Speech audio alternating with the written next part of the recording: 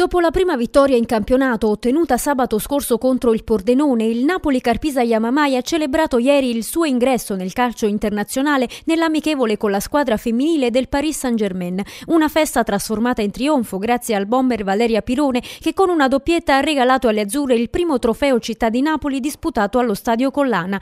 Questa mattina una delegazione parigina è stata ricevuta dall'assessore allo sport Giuseppina Tommasielli per suggellare il gemellaggio tra le due città. Io credo molto nel calcio femminile perché eh, è, era fino adesso un luogo abitato da maschi.